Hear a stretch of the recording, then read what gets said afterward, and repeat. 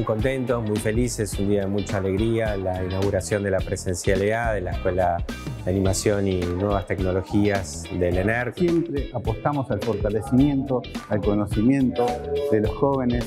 La formación de, en este momento, 20 chicos y chicas de la, de la ciudad. Descentralizar, dejar atrás ese modelo de hiperconcentración en la ciudad de Buenos Aires y que desde cada una de nuestras regiones surja la verdadera producción audiovisual, con la manera de ver de cada una de nuestras culturas.